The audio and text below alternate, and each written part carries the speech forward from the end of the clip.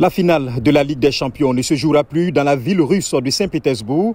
L'UFA a annoncé que ce match prévu le 28 mai a été déplacé au Stade de France près de Paris.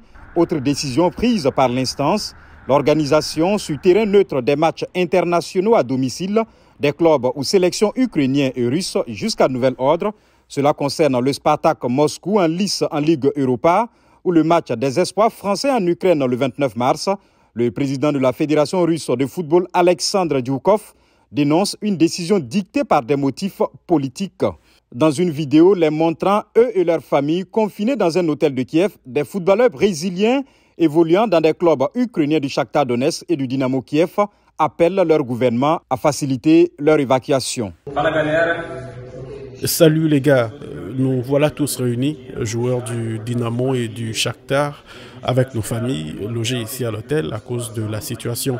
Euh, nous sommes ici pour demander votre aide en raison du manque de carburant dans la ville, des frontières fermées, de l'espace aérien fermé. Il n'y a aucun moyen pour nous de sortir. Côté africain, de nombreux joueurs évoluant en Ukraine disent suivre la situation de près. Dans une interview accordée au site afrique.com, Ibrahim Kane, international malien évoluant à Vorskla Poltava, assure ne pas être inquiété dans la ville où il évolue.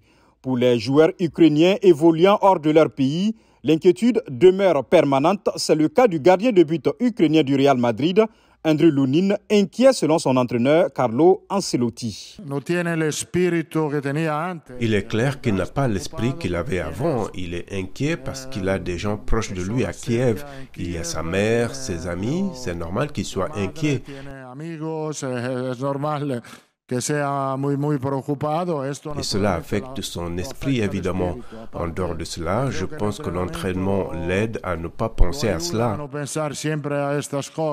De son côté, le club anglais de Manchester United dit avoir évoqué son contrat de sponsoring avec la compagnie aérienne russe Aeroflot. Idem pour la formation allemande de Schalke, qui a décidé de retirer de ses maillots son sponsor officiel russe, Gazprom.